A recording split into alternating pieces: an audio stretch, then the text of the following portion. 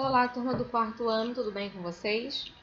Vamos à correção de matemática sobre a aula de ângulos, livro, página 119, mais a correção da folhinha de atividades, ok? 1. Um, classifique os ângulos. Letra A.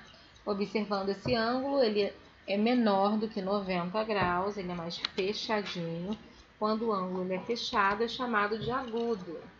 B temos aí um ângulo de 90 graus exato, mesmo ele estando de ponta cabeça, ele é um ângulo de 90 graus, e um ângulo de 90 graus é chamado de ângulo reto.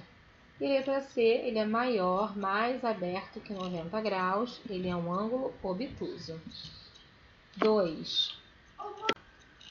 Responda. Letra A. O que é ângulo? Bem, ângulo é a região do plano limitada por duas semi-retas que têm a mesma origem. Então, temos duas semi-retas que começam, que iniciam do mesmo lugar. Então, a abertura entre uma semi-reta e a outra é chamada de ângulo. Qual é o instrumento utilizado para medir um ângulo? É o transferidor. O José já mostrou aqui, aquela reguinha, né? Redondinha ou meio redonda. Qual é a unidade empregada para medir o ângulo? A unidade empregada para se medir um ângulo é o grau. 3. Associe as colunas. Letra A, ângulo reto. B, agudo. C, obtuso. D, raso. E letra E, ângulo de uma volta. Se mede 90 graus, é um ângulo reto. Letra A mede mais que 90 graus e menos que 180 graus, ângulo obtuso. Mede 360 graus, é um ângulo de uma volta, é aquele transferidor redondo, né? Todo o círculo mede 360 graus.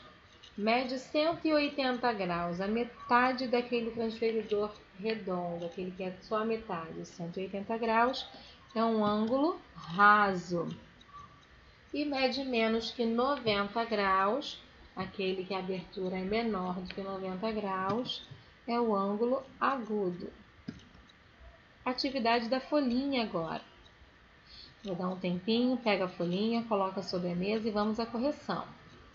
Classifique os ângulos abaixo. Letra A, também como exercício anterior do livro, Vamos classificar. Se esse ângulo ele está fechadinho, eu chamo ele de ângulo agudo. Esse, letra B, tenho mais do que 90 graus, ele é um ângulo obtuso. E na letra C também tem um ângulo maior que 90 graus, também um ângulo obtuso. 2. Dê a medida dos ângulos abaixo. Esse, então, molezinha. A única diferença e observação que a tia Gisele vai deixar aqui é que para dar o grau de abertura de um ângulo, eu tenho que colocar aquela bolinha pequenininha ao lado do número em cima.